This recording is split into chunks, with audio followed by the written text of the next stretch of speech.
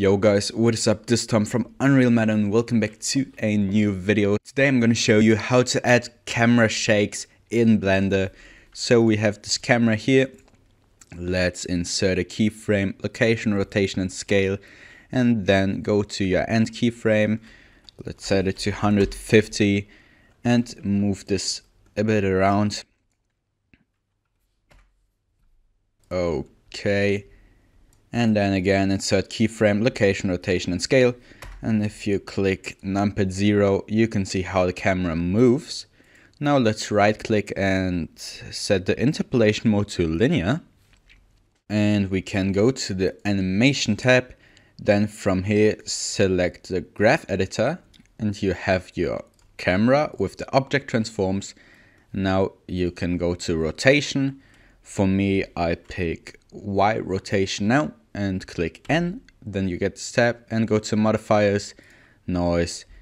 And this is very much noise. It looks like this for the beginning.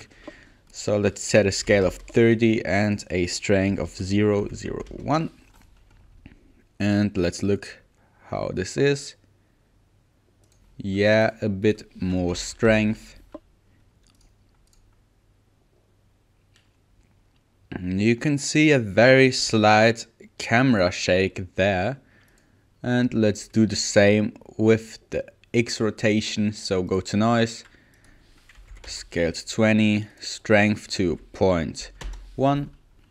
Now we can go to the beginning and it looks like this. Of course, you can set the scale to something like 4. Then this looks like this, so like an earthquake. That's why I like to set high values here and with the strength lower values. And we got very nice camera shakes, yeah. If you liked this video, leave a thumbs up. If no, leave thumbs down. I'll see you next time and bye.